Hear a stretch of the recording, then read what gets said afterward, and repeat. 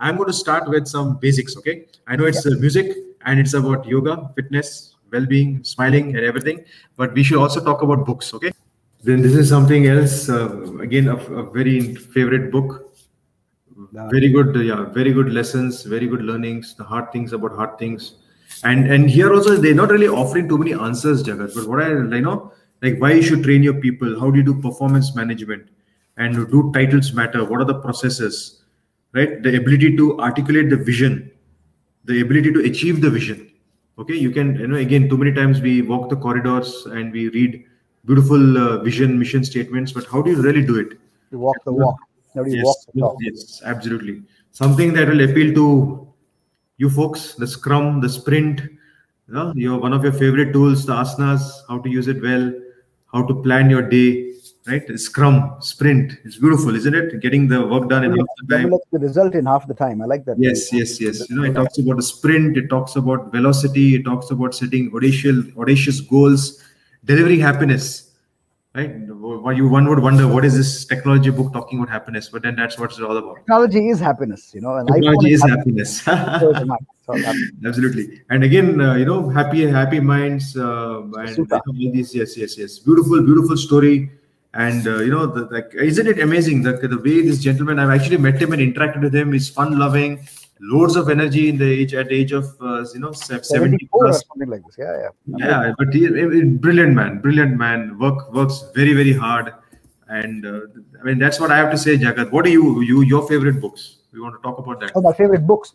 Today i had I, I did speak about a couple of books that i was i was doing but I could okay. Let me let me do this. Let me let me get a couple of. Books. You have to get this, and as you're doing that, Brian not, huh? never forget this. Eat the frog.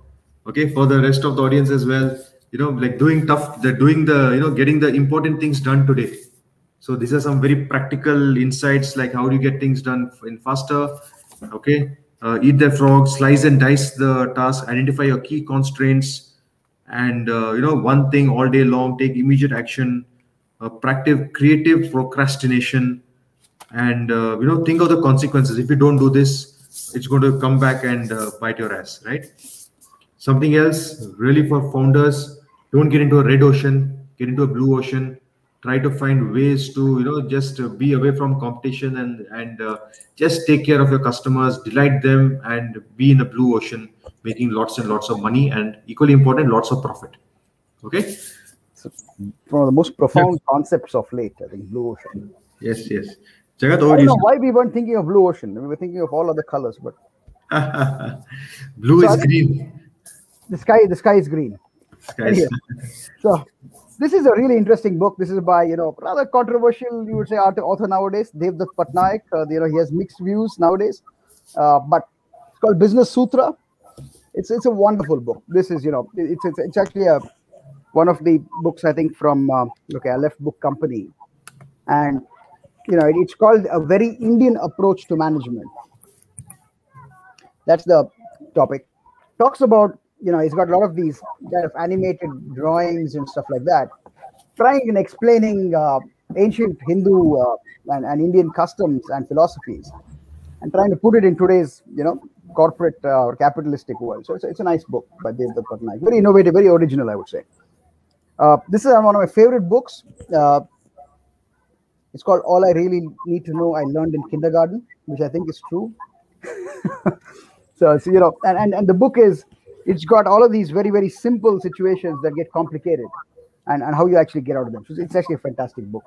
And one of my all time favorites, right? I mean, this book kind of changed my life. I think Freakonomics, for anybody who who who is a little wild, I mean, I would say I'm a little wild at some levels, but I would say wild in a kind of curious and positive way. They want to figure out how things happen.